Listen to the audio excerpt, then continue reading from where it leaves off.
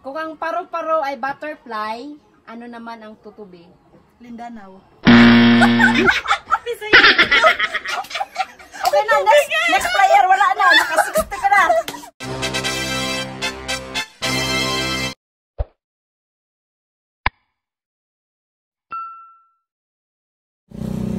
Hi guys! Nandito tayo ngayon sa Barangay Tambubong, Baguio District, Davao City kung saan maghahanap tayo ng mga tao na handang sumagot.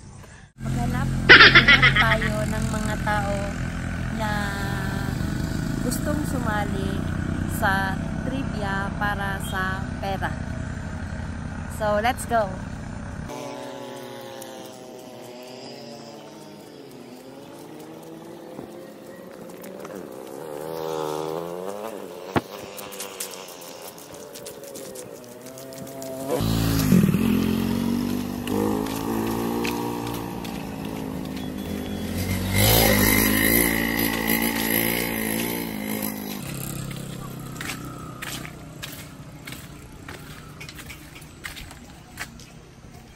So, ang game na to ay tinatawag na trivia para sa pera.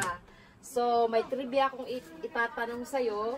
So, ang bawat tanong ay may katumbas na 20 pesos. So, kapag tama ang sagot, may 20 pesos ka. Okay. Ang unang ang unang unang tanong. Magbigay ng prutas na nagsisimula sa letter J.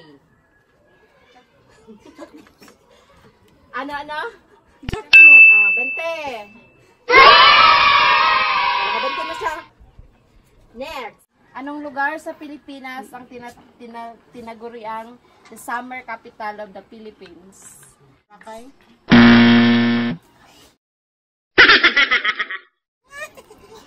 Hindi mo sasabihin kung ano.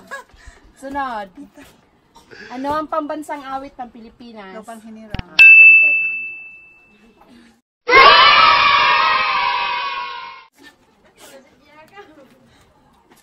Halot man ko. So, colors of the rainbow. Ano ang nasa gitna ng indigo at green? Blue? Ay, naubos ang pera ko sa iyo ah. Tama na. Nakailan ka na. Okay. Anong drugstore ang may slogan na gamot at serbisyo maaasahan dito? Ah, Mercury. Hindi.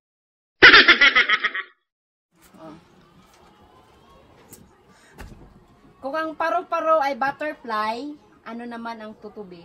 Lindanao.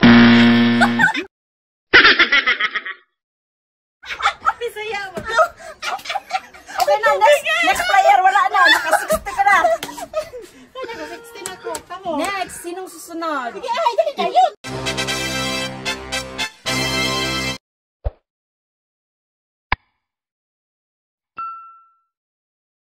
No coaching ha, invalid ang magko-coach. Dito ka humarap sa akin.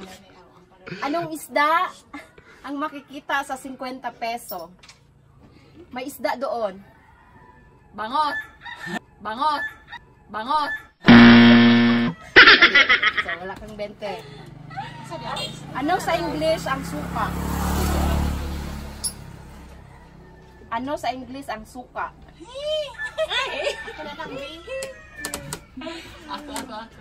Dito ka tumingin sa akin. Kana, dugo lagi ka. ah.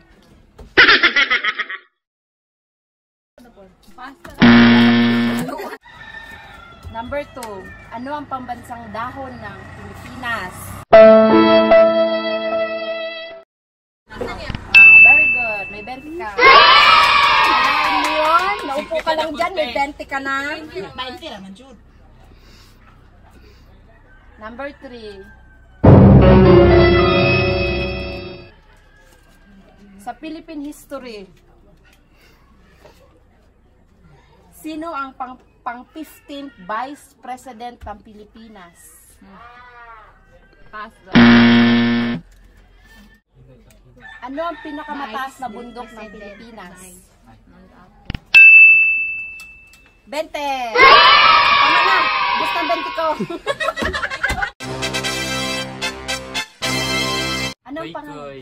Ay, oo, tama. Koy Koy. Koy Koy ano, da Koy Koy. Jaymar. Oh, Jaymar. Jaymar ano? Dagon. Okay, Jaymar Dagon.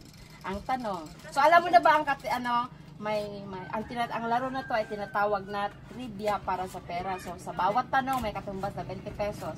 Pag tama ang sagot, may 20. Ang tanong, ano sa English ang santol?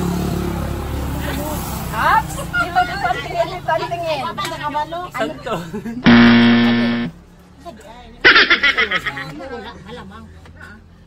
Sa kanta, estudyante ito, di ba? Sa kantang Bahay Kubo, ano ang kasunod ng patola?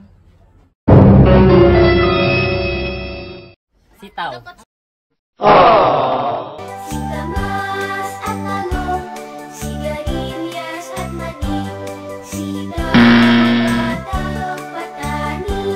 Sitaw.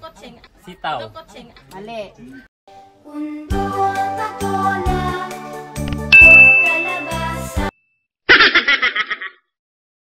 Number 3, saang lugar sa Pilipinas matatagpuan ang Philippine Tarsier? Bohol. Very good.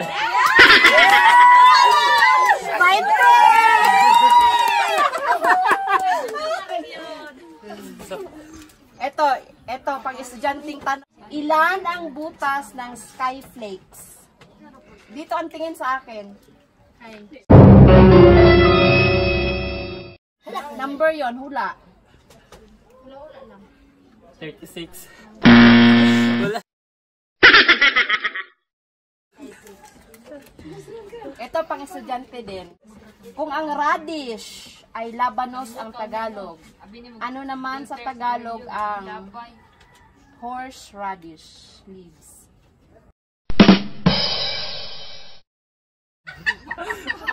Joke. Oh, okay na, okay na.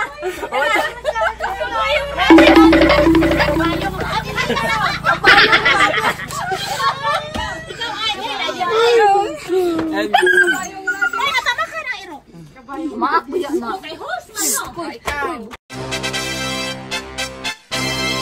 Pangalan? Aileen. Aileen ano? Balya. Ang tanong, anong fast food restaurant ang may slogan na tikman ang tagumpay? Hula. Fast food siya, kinakainan ng mga tao. Na may slogan na mababasa ka doon, tikman ang tagumpay. Meron siyang halo-halong paninda, may chicken. Joke. Di, tinulungan ko na kasi. Sabi niya. ah, diba? Number two. Dito sa akin ang tingin. Bawal ang coaching ha. Anong sardinas? Kumakain ka ba ng sardinas? Oh. Anong sardinas ang may slogan na tatak barko, tatak sariwa? Ay. Kabalikan na. Dito tingin. Sige po nga. Soga, ano? Sag. Ups? Soga. Soga? May sardinas pang soga? Oh, yun na yung kakalat sa video ha, soga. Mali yun.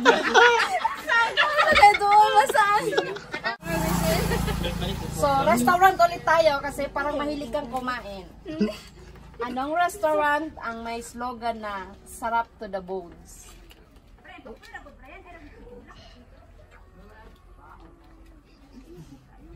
Mali. Ano sa ano sa English ang makopa?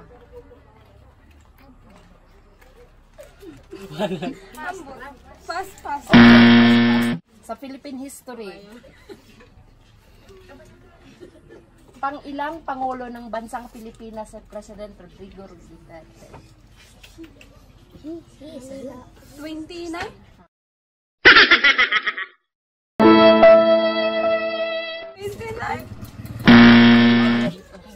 Sa mga ito naman sa mga hayop sa dagat. Kung ang shark ay kung ang pating ay shark, ano naman ang dilis? Himbis.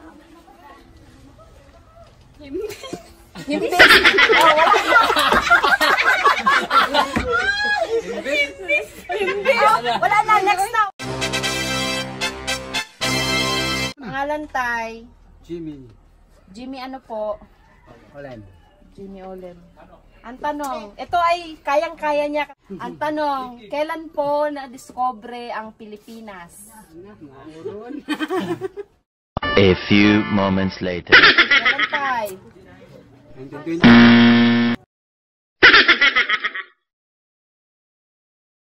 Ah, dito po ang tingin, dito sa akin ang tingin, kasi nandun yung sagot ng pangungopia. Ano po sa Ingles ang suka? Asim.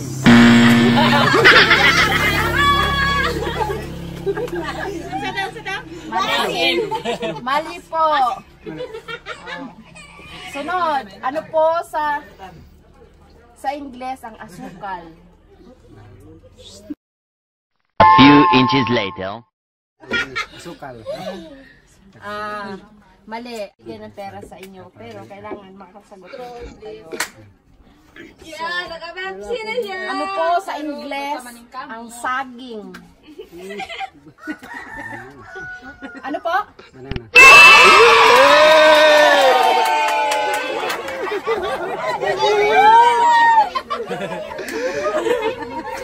Yun lang. Pawisan siya. Pangila, pangilang presidente si President Duterte sa Pilipinas? Size. 20. O tama na, tama na. May mata na po,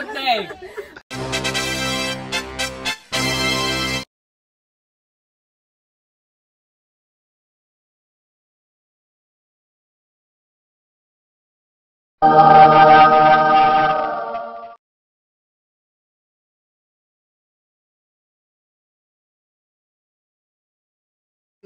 po ang star na nasa watawat ng Pilipinas?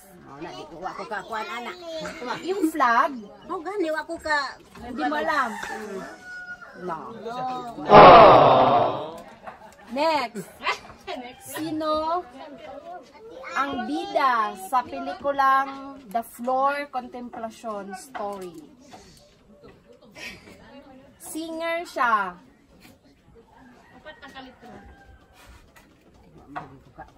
Eh.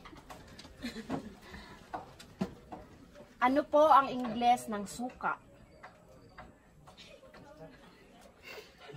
No coaching ha.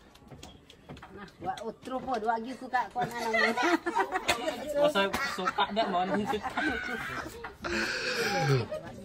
Ah, okay. Ano po sa Ingles? Da- Madali lang to. Ano po sa Ingles ang baboy? Ah,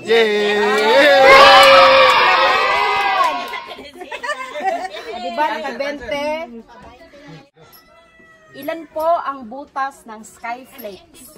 Yung skyflakes po, di ba may butas-butas po yun doon?